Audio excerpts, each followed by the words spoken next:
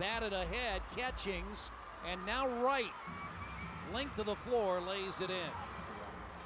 She's shooting better than 40% from behind the arc. That's Wright. Got it again.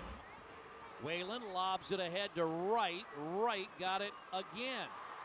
Uh, afternoon game here in downtown Indianapolis, and Monica Wright next Friday, the 19th at home here against Washington, and that's Wright laying it in. She has 14. Wright to Moore. Moore got it back to Wright, and a timeout is going to be needed to start this quarter. They have 12. Step back, jumper, Wright.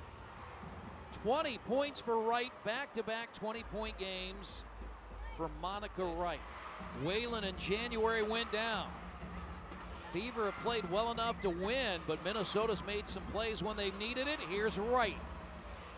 Boy, the backcourt of Wright and Whalen taking over.